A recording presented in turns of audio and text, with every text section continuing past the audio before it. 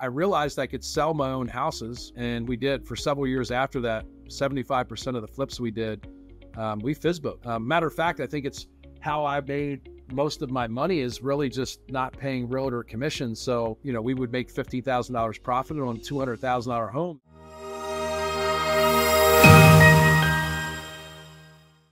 All right, so tell us about that very first flip you guys did. Like, how you guys you come straight from the car business, both of you, right into real estate.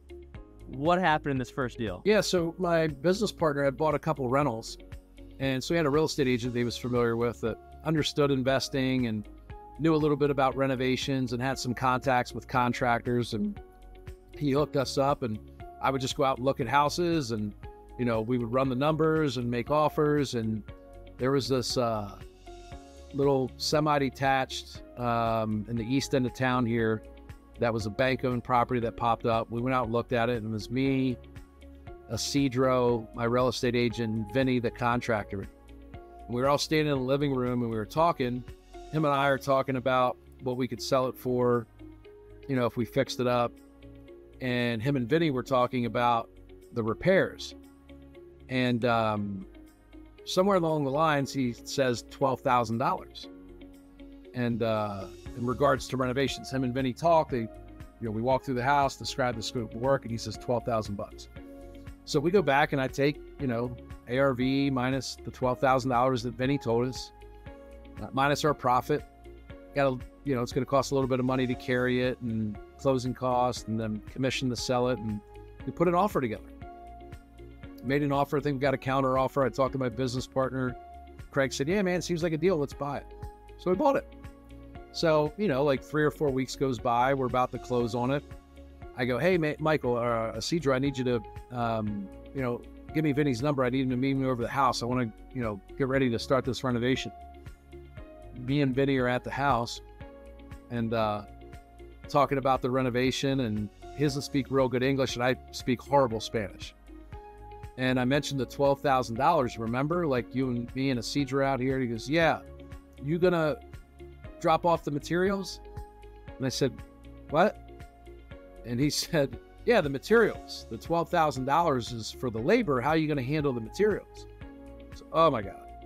So I, I have no idea. What do you mean materials? I've never changed my own oil. I've never painted my. I have no idea.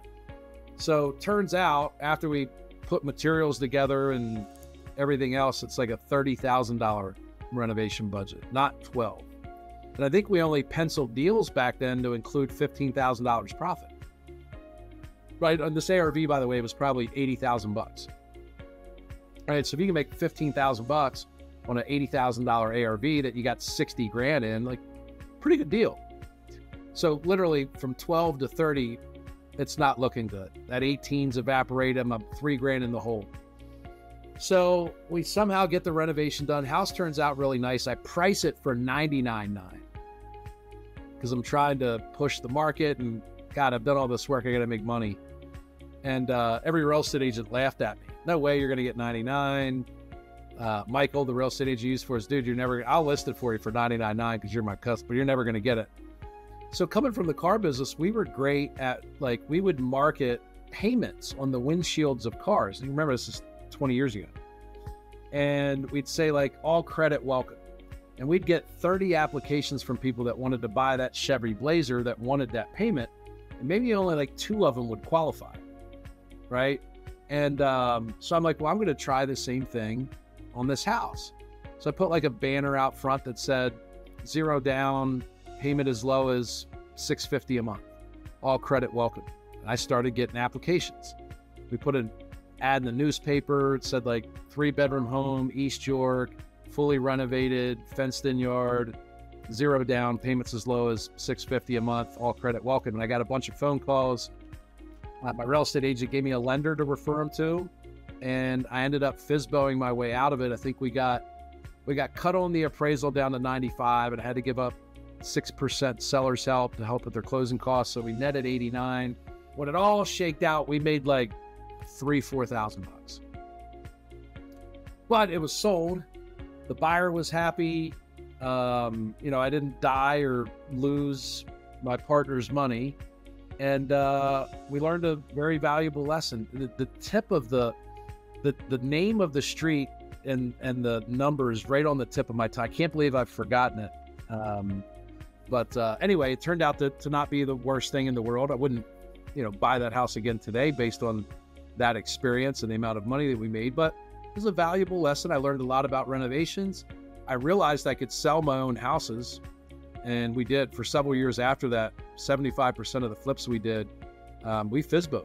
Um, matter of fact, I think it's how I made most of my money is really just not paying realtor commission. So, um, you know, we would make fifteen thousand dollars profit on a two hundred thousand dollar home. That was really the same amount of money I would have paid to a real estate agent. We got really good at it. We had great lender relationships. Um, we had systems set up. I had, you know, some support staff that would screen um, the 30 applicants I would get a day, and they'd only send me the two that got approved. So it, you know, turned out to be a very valuable lesson. And like I said, we didn't die or go bankrupt. So even though we made every mistake possible on that deal, I paid too much, I over renovated, I missed the mark on the budget. You know, it was it was a, a, a mess, but it turned out to be, you know, a, a very profitable mess down the road.